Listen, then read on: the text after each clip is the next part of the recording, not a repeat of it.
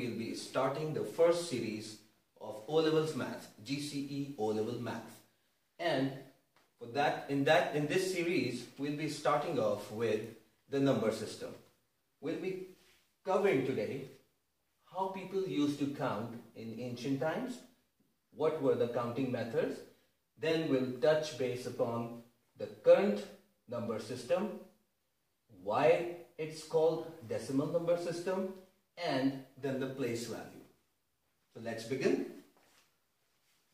In ancient times, kids, have you ever wondered when there were no numerals, the villagers had their stocks, livestock, and the way they used to count it was through a matching principle. Let's see what actually it was. For instance, if anyone in those ancient times had three sheets, oh, I'm not very good in drawing, but we'll have to bear with this, okay, fine. Suppose these are four sheets, okay. The villagers used to, so suppose there are three sheets, we have three, okay.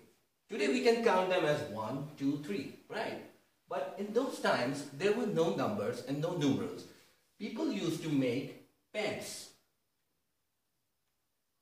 Exactly the same number as were the sheets. And they used to match it with the matching principle. They had a rope tied to this sheep 1 with the peg 1 and sheep 2 with another one and sheep 3 yet with another one. These sheep if they went for grazing into the pastures, when they used to return, the villagers would tie them up again with the number of pegs and match them. For instance, if any one of the sheep was missing, then a peg would be empty. Okay? There, there wouldn't be any rope tied to it. So that was the way they could figure out as to one sheep is missing. Then, when there were like many other villagers and there were the livestock was like uh, it, it just kept on increasing, then they used to make use of signs as well. For instance, this peg was had some kind of a sign, maybe a cross, and the other also had a cross. The, the, the livestock also had a cross. So then they used to, you know, match the crosses and they would come to know that this belongs to a certain party or certain person. Okay. But now, today, we have the current number system which is called, we have covered this, how they used to do. They used to do it with the matching principle. That was the only technique used at that time. Now, the current number system.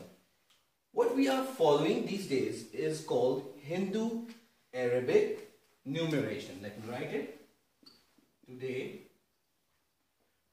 the number system that we are following is Hindu Arabic numeration.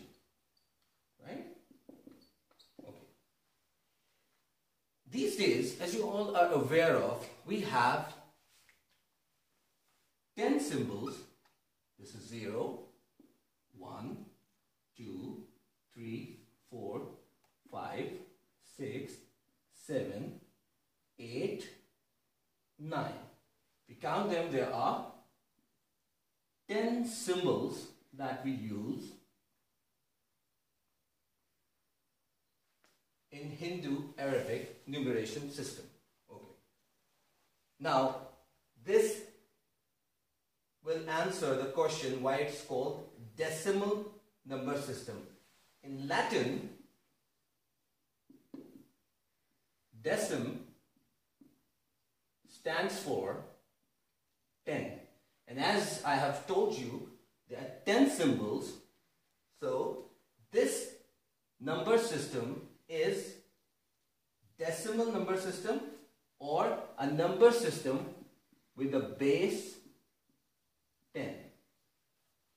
Right? Okay. We have covered the current number system and we have covered why it's called a decimal number system. Now the very important concept of place value. With a place value, any, any number that you can imagine can be written with this decimal number system. For instance, if we take 3492, right? This is how we write it. Now let me make a place value chart for you.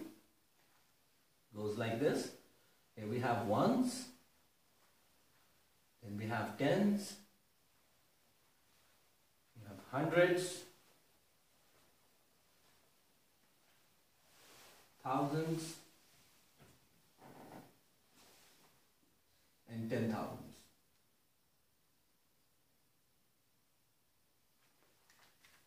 Let me change the marker. Okay. Now if we have to write using this place value chart 3492, we will write 3 just beneath thousands, 3000 and 4 under this box of hundreds, 4, 3400 and 92. Right?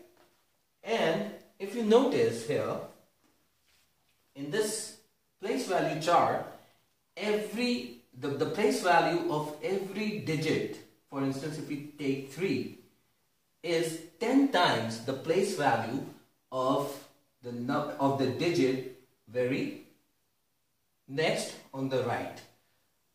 3 is 10 times the place value of this digit 4 10 times 4 is the place value of 4 is 10 times is 10 times the value of the place value of 9 and the, the number 9 the digit 9 is again 10 times the place value of the digit 2 which is on the right. In other words, if we look at it, this is 3 thousands, 3 thousands, 4 hundreds and 92. So this makes, if we, if we add it up, for instance, 3000, 400 92 we are going to end up with this number which is 3492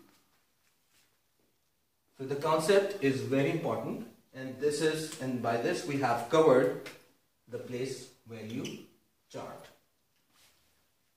In the next session we will be discussing the types of numbers. So this is the end of the first session and in the next session we'll be covering how many types of numbers are there. Thank you.